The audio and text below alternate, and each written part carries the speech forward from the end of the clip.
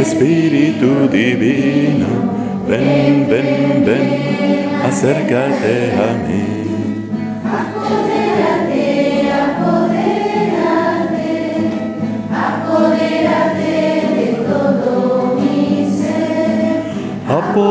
Apodérate, apodérate, apodérate de todo mi ser. Aquí se siente la presencia de Dios.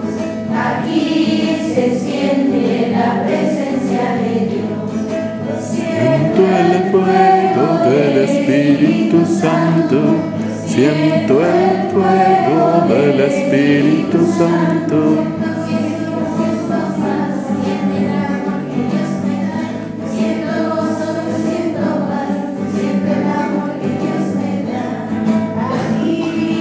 Siente la presencia de Dios.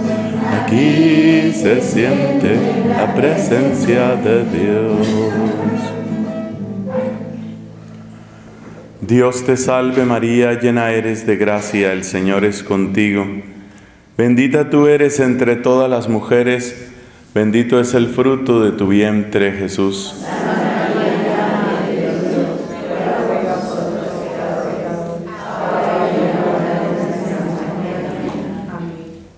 Señor de los milagros.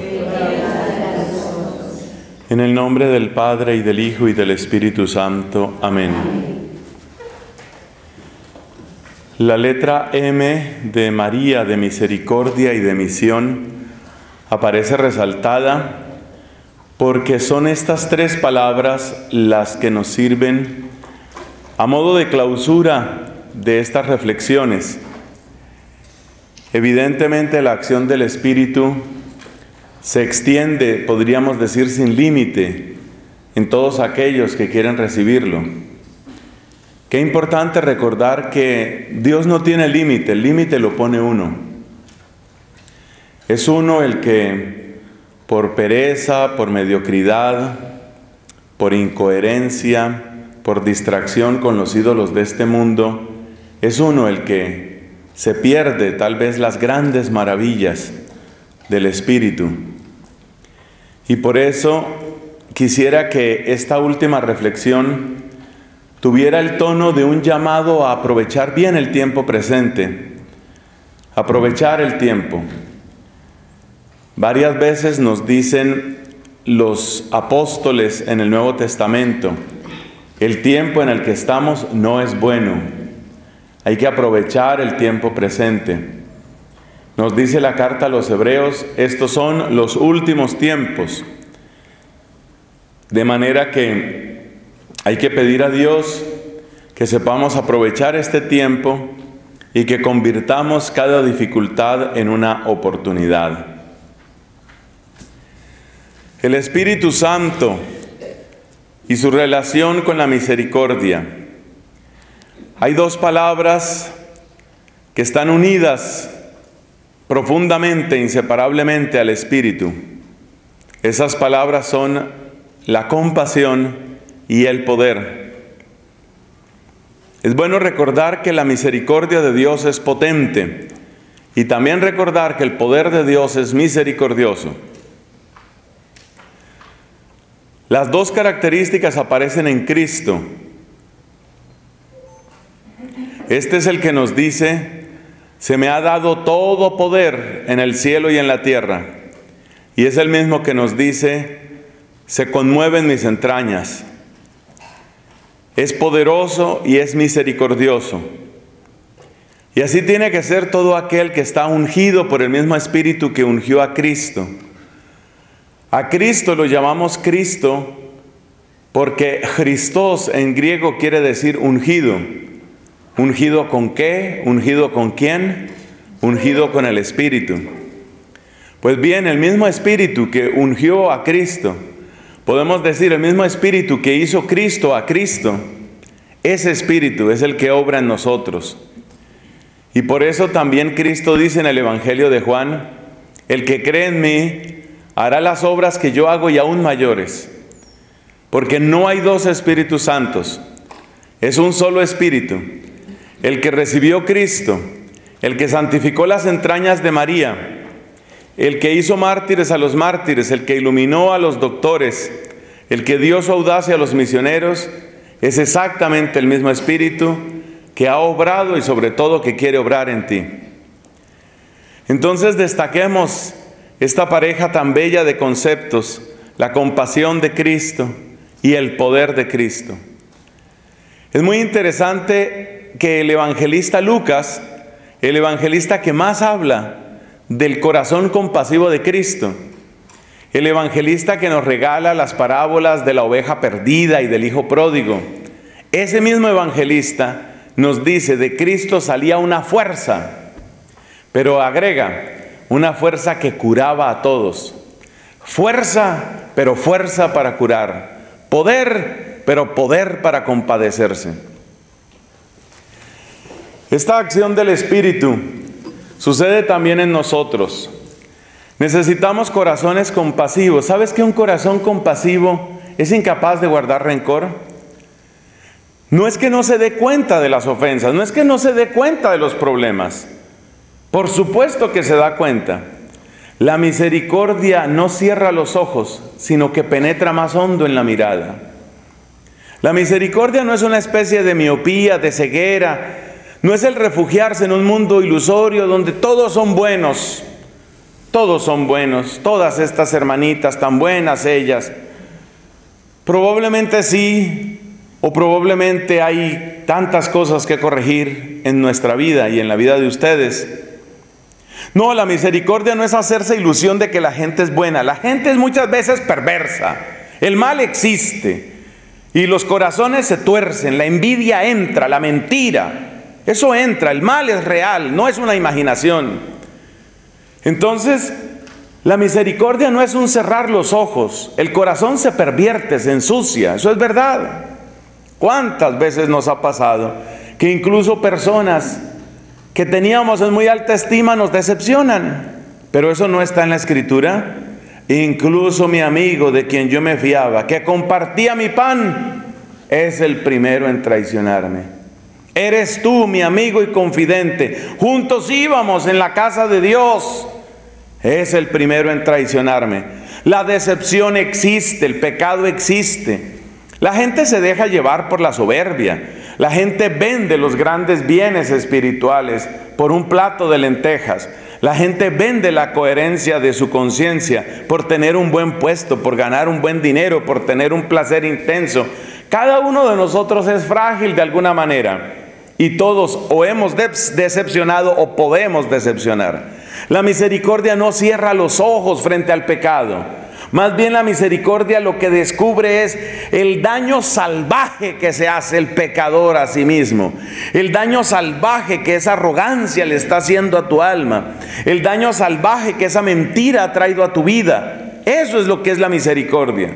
No, la misericordia no es hacerse uno ilusiones de que estoy en una comunidad de gente buena. Me contaba un seminarista de una experiencia que tuvo y creo que me sirvió bastante en mi propio camino de formación. Me decía él, cuando yo entré a la comunidad, todos me parecían ángeles. Después de unos meses, todos me parecían demonios. Después de otros meses, todos me parecieron humanos. Por ahí es. Por ahí es. Ángeles bondadosos, buenos, que van simplemente entre la adoración y el servicio a veces sí, a veces no. Demonios incapaces de convertirse, tampoco. Entonces, ¿qué? Seres humanos, tesoros, pero muchas veces en vasos de barro, incoherencias, barcos a punto de naufragar, pero con los que se puede hacer todavía algo. Esos somos los seres humanos. Y pertenecer a una comunidad religiosa en la iglesia o acercarse a servir a Dios en la iglesia no cambia esa naturaleza humana. Entonces, cuando la gente a mí me habla, mire que tantos pecados que tiene la iglesia, tantos escándalos de sacerdotes, usualmente yo corto esa conversación muy pronto y le digo, mire, yo conozco más porquerías de curas de lo que usted me puede decir aquí en dos horas. Estoy seguro que yo conozco más porquerías, más inmundicia de corazón sacerdotal, conozco yo que usted. Y aquí estoy feliz de proclamar Jesús es el Señor. Entonces la misericordia no es un cerrar los ojos, un hacer de cuenta que las cosas no existen. Por eso me parece tan importante que las imágenes de Cristo muestren llagas. Porque esas llagas son también recordatorios de que así está el ser humano. Por eso no me gustan las imágenes de Cristo que lo presentan como recién salido de un gimnasio, como recién duchado, exhibiendo bíceps, cuatríceps. No me gustan esas imágenes del resucitado. Yo creo, por supuesto, en la resurrección, pero lo que necesitamos no son imágenes de la resurrección, necesitamos gente que experimente el poder del resucitado. Las imágenes, en cambio, nos tienen que recordar cuál es la realidad del ser humano. Y la realidad del ser humano, ¿cuál es? Llagas, llagas. ¿Por qué están esas llagas? ¿Por qué el Cordero Inmaculado? ¿Por qué el Hijo del Eterno Padre ha tenido que llegar a ese extremo de humillación del cual dice San Pablo, Dios hizo pecado a su Hijo? No dice hizo pecador, cuidado, ¿no? Ojo, ojo con la diferencia. Cristo no es pecador, pero San Pablo dice, Dios hizo pecado. ¿Qué quiere decir con eso? Pecado es lo repugnante, pecado es lo repulsivo. Así es Cristo en la cruz. Tan deformado estaba que ni siquiera parecía humano, dijo en visión profética Isaías. En el cuarto cántico del siervo, final del capítulo 52, comienzo del capítulo 53 de Isaías. Entonces, ¿por qué tiene que llegar Cristo hasta ese extremo? Porque el pecado es real. Porque el pecado es real, porque las balas son de verdad, como nos decía en un retiro espiritual el maestro de novicios. Yo terminé mi noviciado el 2 de febrero de 1986. Ahí hice mi primera profesión religiosa.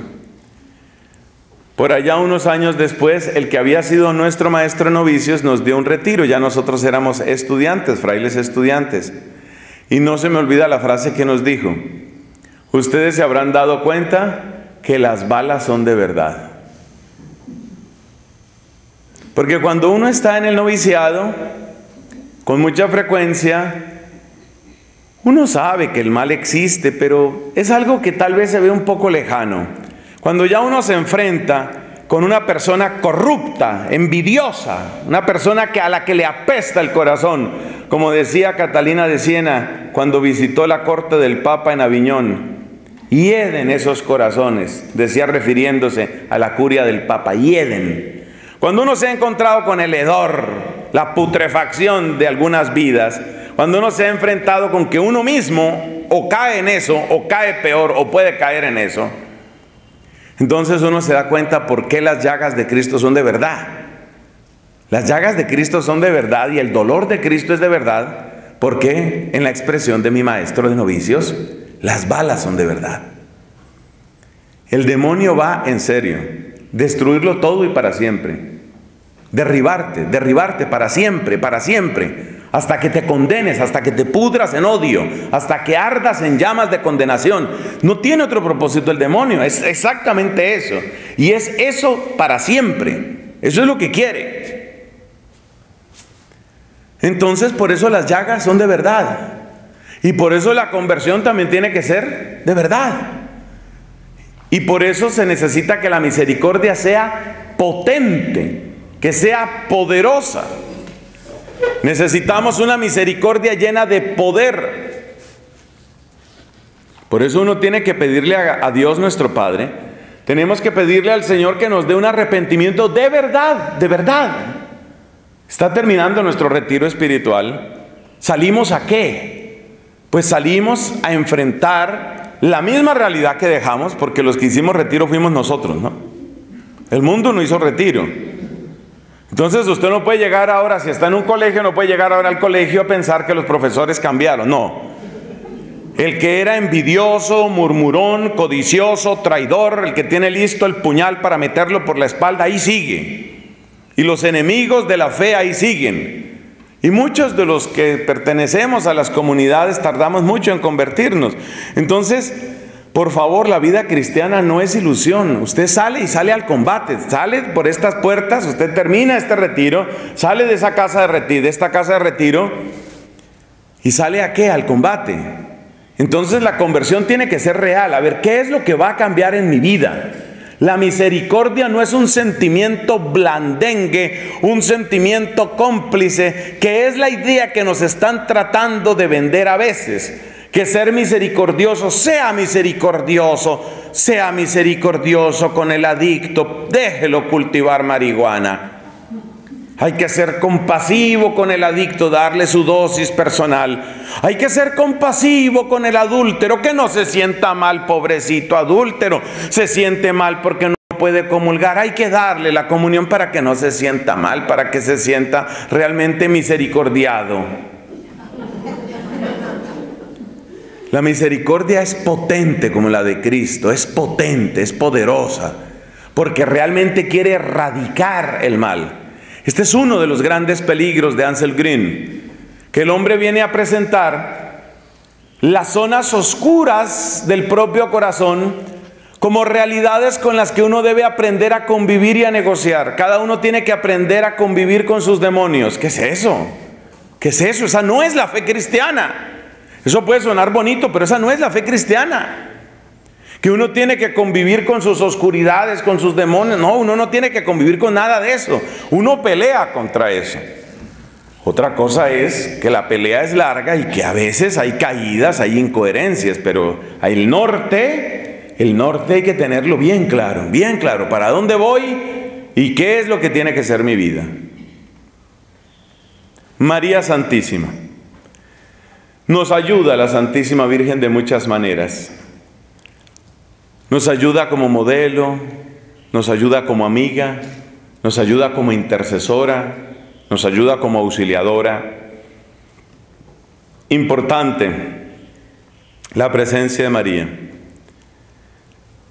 Hemos estado reflexionando sobre el Espíritu Santo y yo creo que nadie, ninguna persona humana, quiero decir, Cristo es persona divina, verdadero hombre, pero persona divina.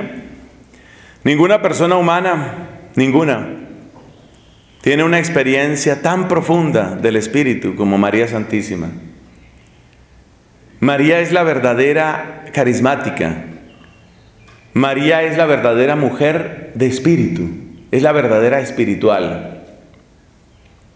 El camino de María, marcado sobre todo por aquella frase, aquí está la esclava del Señor, ese camino de absoluta disponibilidad a la divina gracia, ese camino de total apertura a la acción de Dios, ese es el camino nuestro. El camino de María, camino que tiene una estación espantosa al frente de la cruz de su Hijo, es el camino que también nos ilustra lo que significa creer en el Evangelio. Mi camino, si está distanciado del camino de la Virgen, probablemente hace rato se perdió del camino del Espíritu. Si ella es la mujer verdaderamente espiritual, apartarse de ella no puede ser otra cosa sino perder el camino del Espíritu. Y si el camino de ella pasa por la cruz, entonces yo no puedo esperar una cosa distinta. Pero el camino de ella no se queda en la cruz, el camino de ella llega a la Pascua. Por eso la iglesia la saluda con ternura, con alegría. Alégrate María.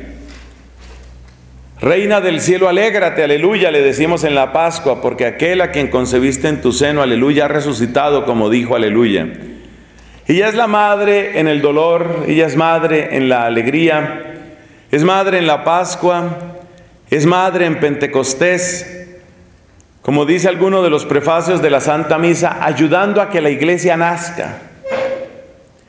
María concibió por la obra y gracia del Espíritu Santo, nos dice San Lucas, Y puesto que el Cristo total, expresión que viene de San Agustín, es cabeza y cuerpo, y ese cuerpo somos nosotros, de algún modo todos tenemos que nacer en María. Necesitamos nacer de esa acción prodigiosa, única, bendita, sobreabundante, irreversible, que solo ella ha conocido mejor que nadie. María es la que medita la palabra de Dios, la guarda en su corazón, la atesora, la cuida. Y esa dimensión contemplativa, esa dimensión meditativa de la Virgen, nosotros la compartimos de muchos modos, pero creo que especialmente en el Santo Rosario.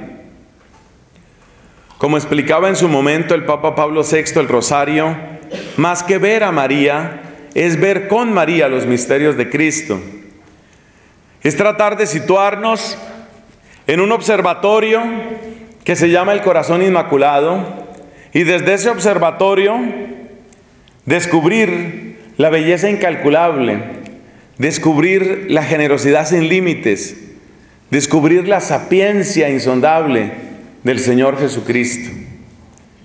Eso es el Santo Rosario. Necesitamos entonces acercarnos a María. Necesitamos llegar a ella, aprender de ella, orar junto con ella. Sigamos el ejemplo de los apóstoles que oraron con ella. En Pentecostés estaba naciendo el nuevo pueblo de Dios, estaba naciendo la iglesia y ahí estaba ella. María en Navidad y María en Pentecostés, dando a luz a la cabeza, dando a luz al cuerpo del Cristo total. Si queremos ser verdaderamente gente de espíritu, necesitamos de María. Hay un aspecto que he predicado varias veces últimamente, porque me conmueve, no se imaginan cuánto. María está en la cruz y María está en Pentecostés. En la cruz, Cristo, su Hijo, está solo, ha sido abandonado. Él mismo lo predijo, capítulo 14 de San Marcos, todos me van a abandonar, pero no estoy solo, el Padre está conmigo. O sea que Cristo está en la más espantosa soledad, abandonado de sus discípulos, aquellos a los que ha llamado amigos, ¿no? Ya no os llamo siervos, a vosotros os llamo amigos.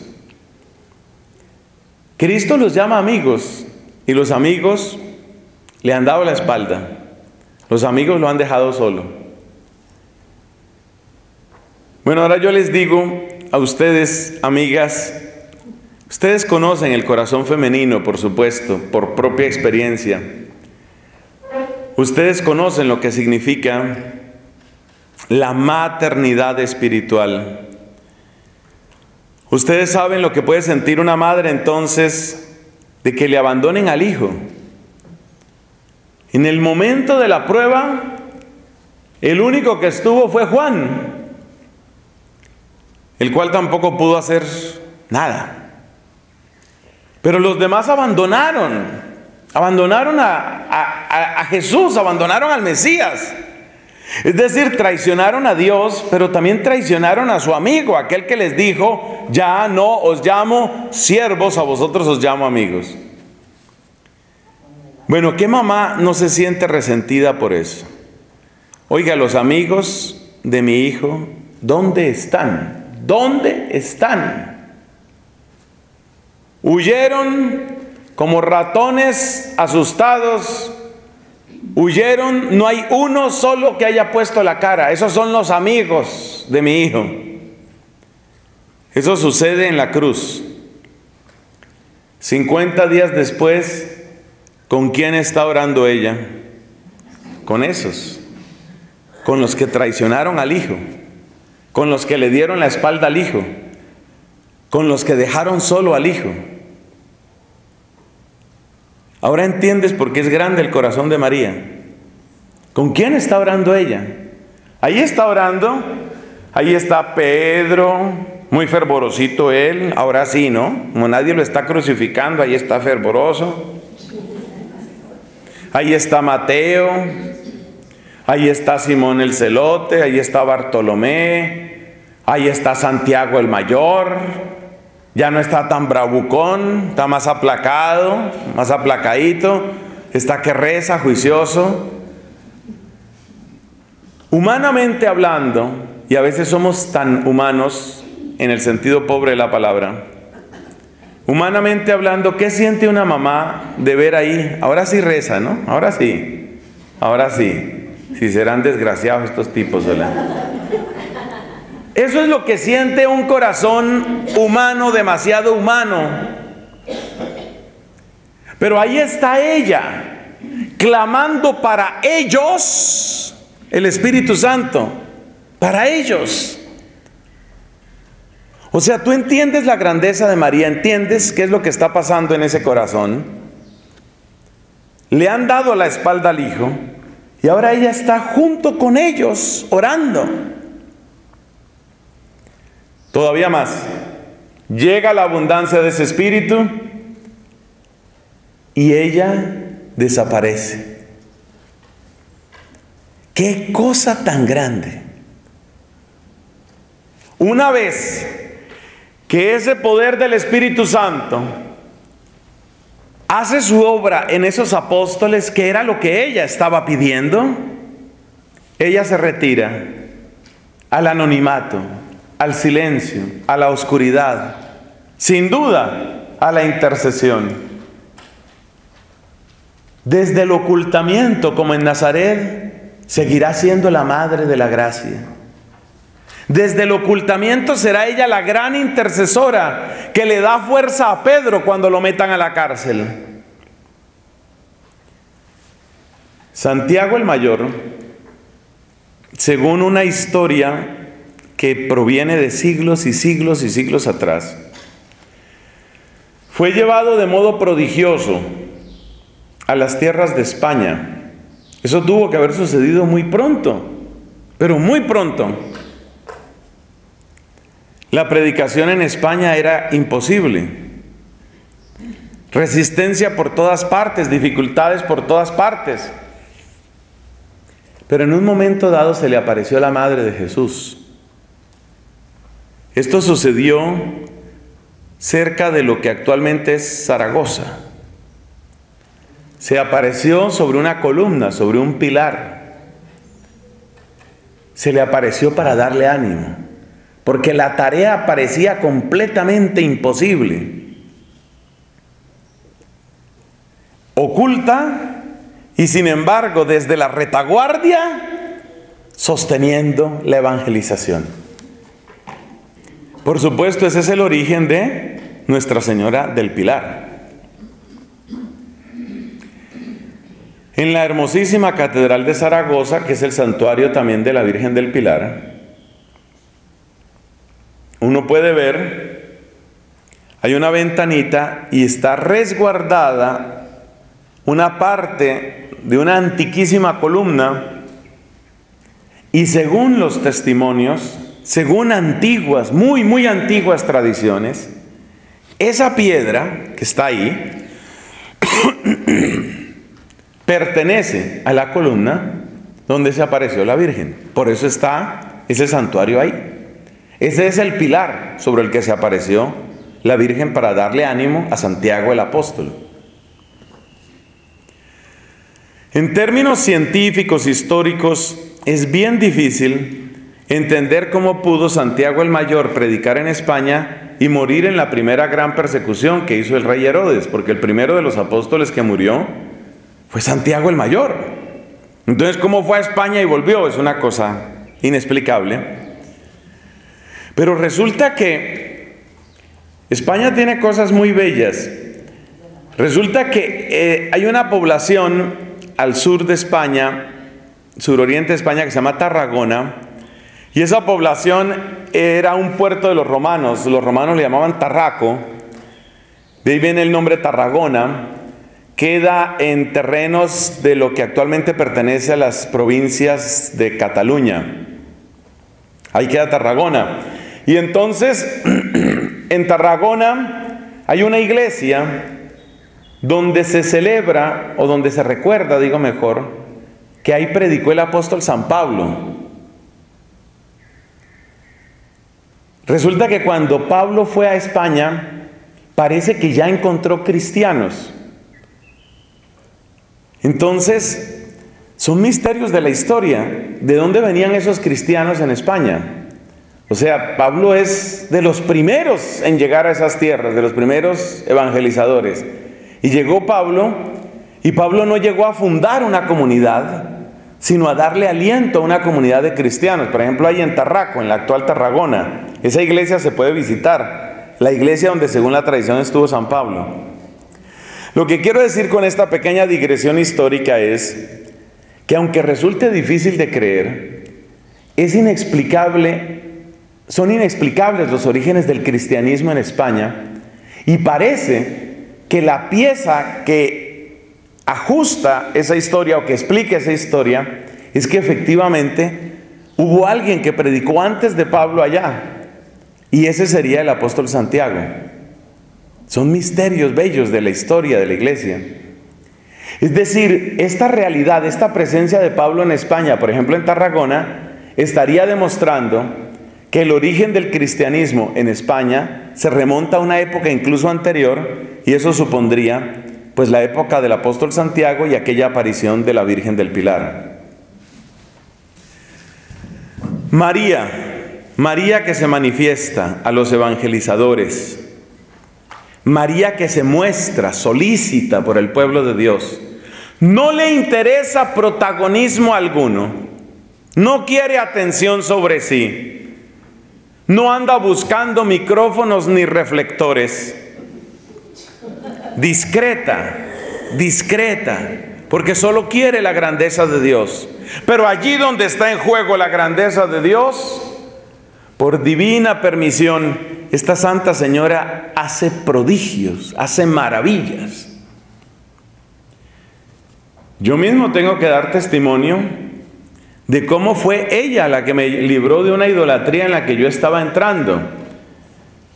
Las cosas hay que decirlas en público porque son testimonio. Mi primer llamado a la vida sacerdotal sucedió a los 15 años de edad. Terminé la secundaria demasiado joven y no podía entrar a ningún seminario en ese momento. Si hubiera entrado en ese momento, creo que me hubiera hecho diocesano.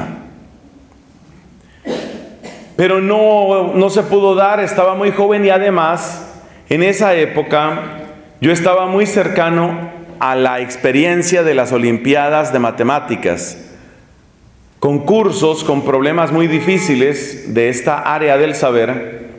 Y resulta que las Olimpiadas de Matemáticas acababan de llegar a mi país y yo tuve una participación que fue muy exitosa en ese momento.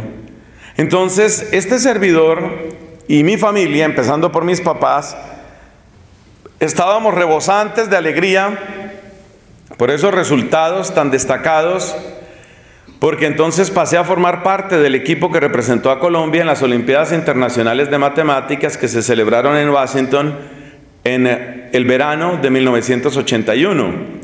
Y luego fui a Hungría en 1982, todavía era un país comunista. Fui entonces a Hungría para las Olimpiadas del 82. Ya había terminado la secundaria. Eso produjo en mí una especie de fascinación, una gran cantidad de vanidad, una gran cantidad de mundanidad. Y empezó un declive gravísimo en la práctica de la fe. Bendito sea el Señor, no me acuerdo haber sido jamás ateo. Pero la práctica de la fe declinó. La misa se volvió algo lejano, distante. La oración inexistente. Y esa vocación que había surgido a los 15 años de edad parecía completamente perdida, archivada en un cajón lleno de polvo del último rincón de mi corazón. Entré en 1982 a la Universidad Nacional de Colombia a estudiar algo en consonancia con mis éxitos académicos y por eso entré a estudiar física pura en la Universidad Nacional de Colombia. Me fue muy bien, muy bien, iban avanzando esos estudios en el 82, en el 83, pero hacia finales del 83 o tal vez comienzos del 84, más bien algo extraño empezó a sucederme, algo que yo no podía entender, Para esa época yo era, estaba casi tan cercano al ateísmo como puede estar una persona sin negar a Dios directamente. Muy triste esa época de mi vida, por supuesto, no me enorgullezco en absoluto, me da vergüenza sobre todo por una cosa, una profunda ingratitud, porque Dios me había llamado en tempranas horas y yo estaba simplemente fascinado por la idolatría del conocimiento y de la ciencia. Mientras avanzaban mis estudios de física, sin embargo, había una señora que no estaba del todo contenta con eso. Esa señora no era mi mamá, porque mi mamá también estaba. Tú sabes que las mamás son muy orgullosas. Las mamás estaban muy feliz de que el hijo tenía unos desempeños académicos magníficos. El hijo va a Estados Unidos, el hijo va a Europa, el hijo trabaja, el hijo surge, el hijo brilla. Y cuidado que las mamás a veces se les olvida que lo primero que tiene que brillar es la luz de Cristo. Así que con todo el amor hacia mi madre, que me parece que fue tan virtuosa en tantas cosas, yo creo que ella también estaba siendo víctima del espejismo de las grandezas humanas. En ese contexto, entro yo al sexto semestre de mis estudios de física y tenía una materia muy interesante que se llama mecánica analítica. Y en esa materia que era muy nueva, para todos los que estábamos ahí. Yo tuve muy buenos profesores en la Universidad Nacional y tengo muy buen recuerdo de ellos. En esa época empezamos a estudiar mecánica analítica. Teníamos una profesora, yo creo que los, mejores docentes que tuve en esos años fueron mujeres. La profesora de física 3, por ejemplo, era buenísima, de lo mejor que yo he tenido, y en mecánica analítica también era una mujer excelente. Estábamos en mecánica analítica y como es una materia tan completamente nueva porque introduce un conjunto de conceptos a los que uno no está familiarizado, como por ejemplo parametrizaciones y variables, uso de distintas variables que ya no corresponden directamente a dimensiones físicas. Entonces, pues eso resultaba un poco abstracto, un poco difícil. Pero resulta que Dios, que es así bondadoso, generoso, me concedió entender, yo diría bastante rápidamente ese tema. Me parecía interesante, pero lo entendía rápido. La profesora, que era una gran pedagoga, iba muy despacio, ella se daba cuenta de que este era un tema en el que había que ir despacio. Entonces, no me tomen a mal lo que les voy a decir, pero yo empecé a aburrirme en esa clase, porque esta profesora iba muy despacio.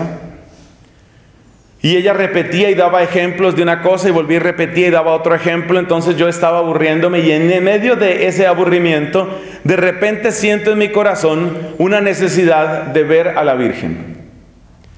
Me parece la cosa más absurda del mundo.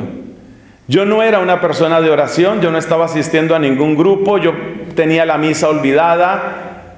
Repito, estaba al borde de descartar a Dios de mi vida. Esto no se necesita. Sin embargo, el contexto dentro de mi casa seguía siendo un contexto católico. Es decir, mis papás seguían siendo personas de misa y mi mamá seguía rezando el rosario y todo ese tipo de cosas. Pero yo estaba al borde de descartar, de tirar a Dios de mi vida, que Él me perdone.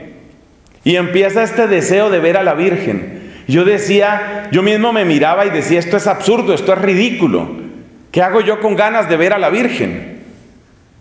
Me daba vergüenza, eso me parecía como, como una cosa digna de, de, de, de reprobación, de, ridículo. Pero no se me quitaba ese deseo y entonces iba para los laboratorios y, volvía ese deseo de ver a la Virgen. Era una cosa de que tenía que ver, tenía que verla. Yo, yo decía, pero, pero, ¿ver qué?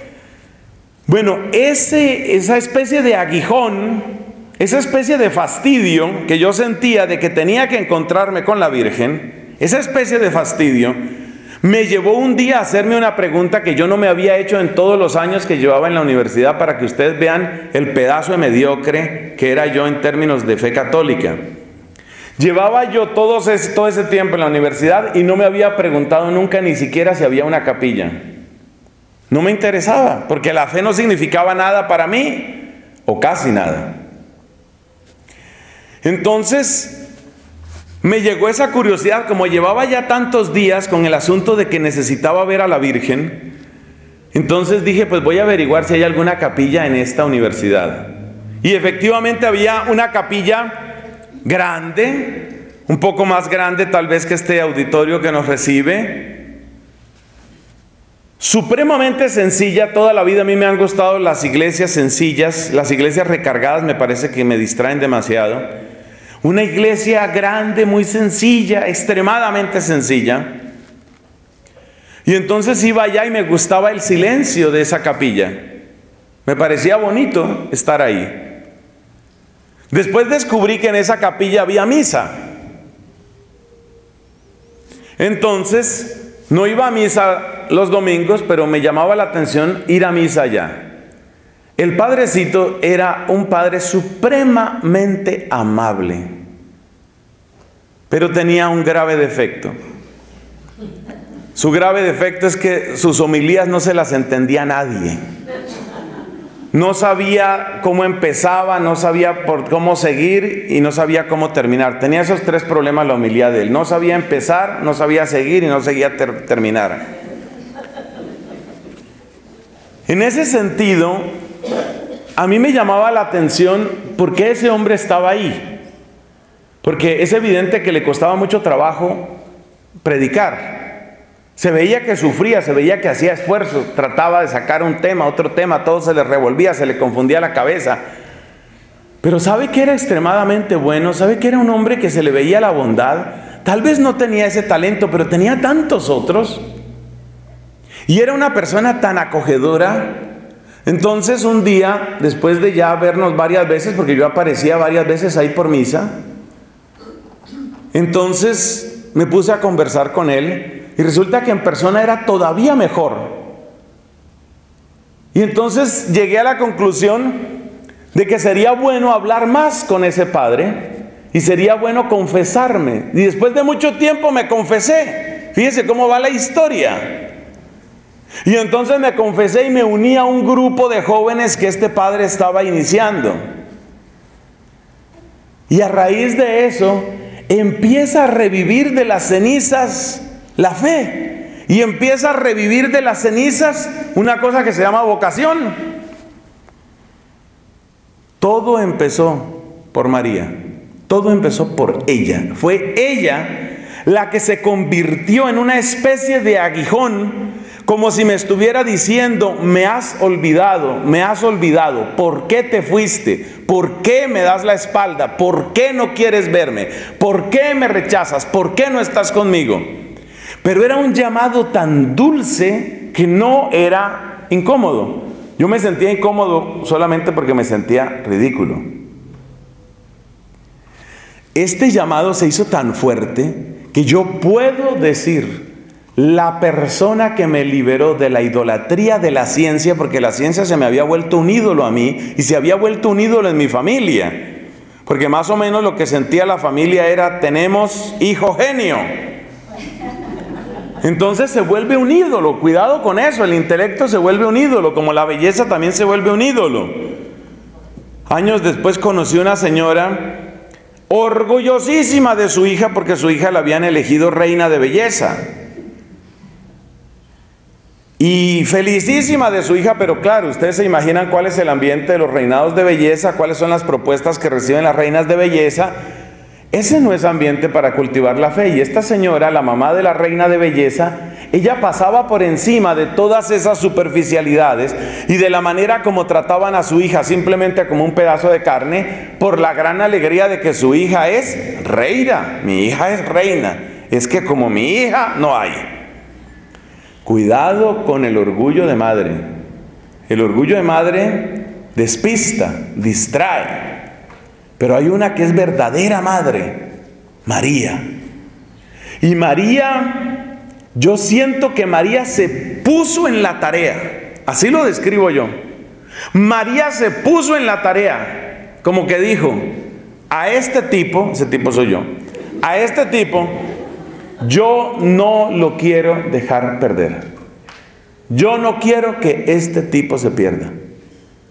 Yo siento que mi vida, mi fe, mi vocación fueron rescatadas por la Madre de Jesús.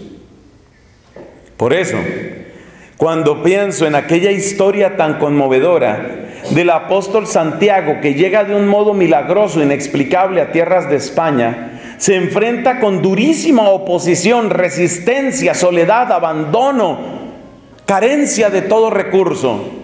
Y sin embargo, experimenta el auxilio de María. Yo siento, eso es verdad. Yo siento en mi corazón, eso es verdad. Así es ella. Yo siento que esa es la manera como ella obra. Esa es la manera como ella nos rescata. ¿Y qué es lo que aparece entonces ahí? Si yo miro mi historia, ¿eso cómo se llama? Misericordia y poder. ¿Ves cómo se conecta una cosa con la otra? María fue compasiva conmigo, sigue siéndolo. María fue muy compasiva conmigo. Si tuviera tiempo, que no es del caso, eso puede ser para otro retiro, si me vuelven a invitar. Les contaría de qué modo me ayudó la Virgen en el tiempo aquel allá en Irlanda. Eso fue una cosa extraordinaria, extraordinaria. Y el encuentro con ella en el santuario de Knock, en Irlanda. Yo no sé por qué hay mucha gente que no ha ido a Knock, en Irlanda. Tendrían que ir. Hablen con la provincial, coordinen y van al santuario de Knock. Entonces María, María es compasiva y es poderosa, y es poderosa.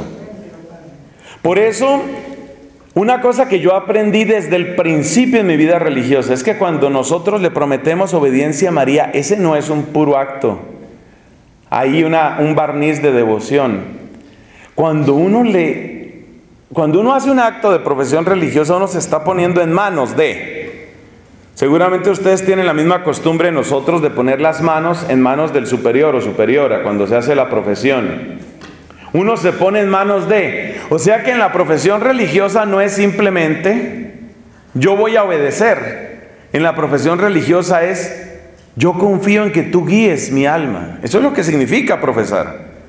Por eso es absurdo cuando después de profesar, nosotros entramos en unas resistencias y rebeldías y a renegar y renegar y renegar, pero no, no hizo profesión. ¿Cómo es la profesión? Es ponerse en manos de. ¿Y ponerse en manos qué es? Guíame. Eso es lo que yo le tengo que decir a mi provincial. Y como voy a estrenar provincial pronto, porque si Dios permite, hoy es 1, ¿cierto? De noviembre. Mañana empieza el capítulo provincial de los dominicos. La elección, de acuerdo con nuestro estatuto de provincia, debe ser, eso sí no me acuerdo exactamente, pero es o martes o miércoles de la próxima semana. Entonces, esa persona, ese provincial mío, es aquel en cuyas manos, por intención, desde el día de mi profesión, me he puesto. Me he puesto en las manos de ese provincial. ¿Para qué? Para que saque lo mejor de mí. Para que me cultive. Para que me libre de mis caprichos. Ah, pero es que ese provincial, ese tipo tiene otros intereses. Es que ese tiene su propio grupo. Ese tiene... Claro que sí, es perfectamente humano. Pero es que cuando yo hago profesión, yo no estoy diciendo, hago profesión en manos de los provinciales santos que tenga. Los otros no los obedeceré. Amén, amén, amén. Esa no es, eh, por lo menos en mi provincia no se profesa así, no sé cómo se pro- pro- profesará en la provincia de Santa Rosa, pero en mi provincia la profesión no se dice, hago obediencia a los provinciales santos. Uno dice así, no, uno dice a todos, ¿cierto? Con las limitaciones que tienen los provinciales. Pero es que también a través de esas limitaciones Dios hace unas maravillas. Hago profesión en manos de los provinciales que tengan coeficiente intelectual muy alto. Hago profesión en manos de los provinciales que estén de acuerdo conmigo. Ese no es el acto de profesión. Entonces, en la ceremonia de profesión nosotros decimos que prometemos obediencia a Dios, a la bienaventurada María. Eso significa que también uno se encomienda a ella. Y es necesario darle espacio de acción a la Virgen. Es necesario darle espacio de acción y decirle, actúa tú en esto, sobre todo en lo que concierne a nuestra salvación, sobre todo en lo que concierne a remover los obstáculos que frenan el reinado de Jesús en nuestra vida. Por eso el Papa Francisco es tan devoto de la Virgen de Satanudos, porque de eso es de lo que se trata, de remover obstáculos, y ella es eficaz es potente para remover obstáculos. Quien me hubiera conocido a mí a comienzos del año 84 hubiera dicho, a este muchacho ya lo perdimos. Sin oración, sin oración ya eso significa muerto. Sin confesión, sin Eucaristía, lleno de orgullo por su vida académica, por sus logros académicos, con toda la vanidad que eso trae, quien hubiera dicho, este ya lo perdimos, pero hubo una persona que dijo, no, todavía no lo hemos perdido, aquí todavía se puede hacer algo. Esa persona fue María, la bendita Madre de Jesucristo. Entonces, mi vocación, mi sacerdocio, mi vida, están estrechamente ligadas a la ternura, a la compasión y al poder que tiene la Santa Señora.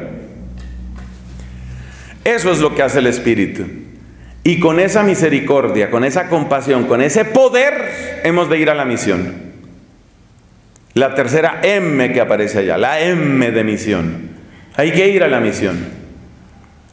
Por favor, para ir a la misión, no olvidemos la recomendación del Deuteronomio. No te distraigas ni a derecha ni a izquierda. ¿Qué tiene que hacer el demonio para convertirte en una persona mediocre, para que tú seas un aborto. Porque el, demonio ama los abortos, ama que se produzcan abortos. Es una expresión de su odio al ser humano que es imagen de Dios. Entonces el demonio quiere abortos y el demonio quiere que nosotros, aunque ya hayamos nacido, seamos aborto. Es decir, que nos quedemos a mitad de camino, que no se logre el muchachito. El demonio quiere que tú seas un aborto. Esta vocación no se logró, se quedó a mitad de camino, fue un aborto. Eso es lo que quiere el demonio. ¿Qué necesita el demonio para que nosotros seamos tristes abortos espirituales? Necesita una sola cosa, mantenernos distraídos. Mantenernos distraídos. Por eso San Juan de la Cruz dice que hay que tener cuidado con las flores y con las fieras. Cuando uno va de camino hay que tener cuidado con las flores y con las fieras. Flores llámanse aquellas cosas deleitables, aquellas entretenciones, aquellos placeres, aquellos puestos a los que uno se aferra. Realmente en toda mi vida Nunca me habían dado un asiento tan cómodo como este de la dirección. Estoy cómodo y aquí estoy y aquí me quedo. Esclavitud, idolatría, las flores, lo que me gusta, lo que me deleita. A veces puede ser una persona, una amistad, con o sin componente de pareja, con o sin componente sexual. Lo más importante no es mucho sexo, poco sexo. Por supuesto que es más vergonzoso y escandaloso si hay sexo de por medio. Pero lo más grave, espiritualmente hablando, ni siquiera es eso. Lo más grave es, te engolosinaste con las flores. Y el que va por el camino y dice, ay, mire esta flor tan bonita. Voy a analizar los próximos ocho meses a esta flor. ¿Y tu camino? No, no, no, ¿de qué camino ni qué nada? Aquí estoy con esta flor y aquí hay otra florecita, pero qué lindas estas flores. ¿Y tu camino? El camino no importa, luego caminaré si puedo, si quiero, si, si, me da la regalada gana. Por ahora estoy aquí con las flores. Las flores te detuvieron. San Juan de la Cruz dice cuidado con las flores. Y dice cuidado con las fieras. ¿Y las fieras cuáles son? Las fieras son los miedos.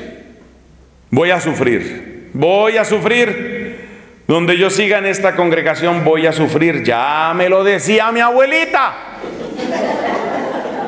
Mi abuelita me decía, mi hijita, no entre por allá, que a esas monjitas las maltratan mucho. Acuérdese que usted es muy orgullosa, usted no da para eso, me decía la abuelita. Claro, porque toda abuelita que es mamá dos veces quiere retener a la nietecita, tenerla ahí pegada a las naguas y que no se mueva y que ahí esté la nietecita y que esté ahí pegada hasta el día en el que yo me muera y me entierre. Ya para esa altura ya no la van a recibir en ninguna comunidad, ya se distrajo. ¿Ve? Entonces hay que tener cuidado con eso. Uno se distrae por las flores o uno se distrae por las fieras. Voy a sufrir. No, yo para sufrir no. Y el demonio es tan astuto que le da caras, le da maquillajes a las palabras. Por ejemplo, esto lo he oído varias veces. Padre, he decidido retirarme de la congregación. ¿Por qué te vas a retirar? Porque yo vine para ser feliz. Y yo veo que hay tantas dificultades, hay tantos problemas. Yo creo que yo no voy a ser feliz. Depende de qué felicidad estás hablando. Si la felicidad que tú estás esperando es una felicidad de que no haya problemas, de que todo fluya, de que todo el mundo te quiera, de que todo el mundo diga, pero qué buena, pero qué piadosa, pero qué bondadosa eres, ¿de quién son cachetes? No. si tú estás esperando, si esa es la felicidad que tú estás esperando, esa felicidad no va a llegar. Pero es que esa es la felicidad que tampoco va a llegar en el matrimonio. En el matrimonio tampoco va a llegar esa felicidad. Hace poco tuve un encuentro de parejas y hablábamos de esto con las parejas. Que la gente se casa pensando únicamente en la ceremonia y gastan y gastan millones. La ceremonia, las flores, el vestido, los pajecitos, los vestidos de los pajecitos, el peinado del pajecito. Llega un momento en el que los pajecitos son tan importantes que realmente ya no importa, no hubo cura, no importa, están los pajecitos. Hay una completa subversión de valores que hace que las personas piensen que casarse es un momento. Entonces termina la luna de miel, terminan todos los paseos, vuelve la dura realidad y un día se despierta por ahí ya casada y dice, ¿y este tipo quién es? Eso da risa. Pero fíjense que yo tengo un amigo fotógrafo que me contaba lo siguiente. Él está en internet, él, él, pertenece a una asociación de fotógrafos en internet. Y me contaba que, bueno, ahí comentan los fotógrafos de sus experiencias, equipos, eh, contratos, cómo manejar problemas. Y entonces alguno dentro de esta página de fotógrafos en internet, fotógrafos peruanos, fotógrafos peruanos en internet, comenta este señor y dice, tengo un problema, figúrese que hice contrato para una boda, un contrato que fue bastante costoso. A ver, trato de traducir. Me parece que estábamos hablando de algo así como unos 3 mil dólares el contrato entre las fotos, el álbum, la filmación. Eso vale mucha plata, pero mucha plata, de manera que si alguna realmente, realmente se va a retirar, pero si de veras se va a retirar, métase de fotógrafa. Oiga, y entonces resulta que 3 mil dólares, hizo contrato por 3 mil dólares y preparó el DVD, preparó la película, la grabación, el audio, el álbum, las fotos, todo, todo. Se toman miles de fotos en una boda, yo no sabía eso, me lo explicaron, miles, literalmente, miles de fotos. Y son varios fotógrafos de todos los ángulos, todos los ángulos. El momento en el que la lágrima sale, el momento en el que la novia se suena, el momento en el que... Todo, todo tiene que quedar registrado en fotografía. Entonces este señor hizo su contrato. Tres mil dólares. Cuando fue a cobrar le dicen, no, ya no queremos esas fotos, ya nos separamos. Y entonces él estaba preguntando, pidiendo asesoría legal. Ahora, ¿quién me paga mi trabajo? En un mes que se demoró haciendo eso, ya la pareja se había separado. En un mes. ¿Eso se llama Alemania? No. ¿Se llama Suiza? No. Rusia, no. Se llama Perú. Perú. Se llama Perú. Conozca su país. Eso es lo que está sucediendo en el Perú. Colombia no está mejor. Y Brasil creo que está peor que Colombia y que Perú en materia de familia y de pareja. Es terrible, lo de Brasil es espantoso, espantoso. De volverse moda y de volverse chiste el adulterio y el intercambio de parejas, una depravación, una cosa terrible. En todas partes hay gente buena y hay gente santa, pero la situación general de Brasil es de llorar. Entonces, ¿qué quiere decir esto? Esto quiere decir que la situación de las parejas, era lo que estábamos comentando, la situación de las parejas no es mejor que la de la vida religiosa, no es mejor, porque lo que está enfermo es el corazón humano. Entonces tú dices, me salgo, ¿te sales de qué? ¿Me salgo de qué? ¿Me salgo a qué? Es el corazón el que está enfermo, es el corazón el que hay que sanar, es el corazón el que tiene que romperse y renovarse. Es el corazón el que tiene que hacer las súplicas de David. Oh Dios, crea en mí un corazón puro. ¿A dónde te vas? Necesitamos ese corazón renovado. Y a este tema llegamos porque estábamos hablando de las flores y las fieras. Y entonces las fieras son eso. Vas a seguir de religiosa, vas a sufrir mucho, pero mucho, mucho, mucho. Vas a sufrir espantosamente y después de que sufras mucho, vendrá más sufrimiento. Esas son las fieras. San Juan de la Cruz dice que no te detengan las flores ni las fieras. Por algo ese señor es doctor de la Iglesia Católica. Que no te detengan las flores ni las fieras.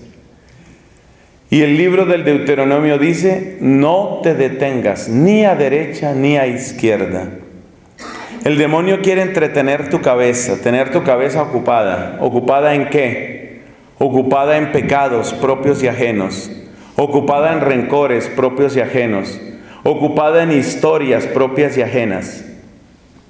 ¿Cuál es el peligro de una monjita que tenga la cabeza llena, repleta de historias? El primer problema es que no le va a quedar bueno el velo.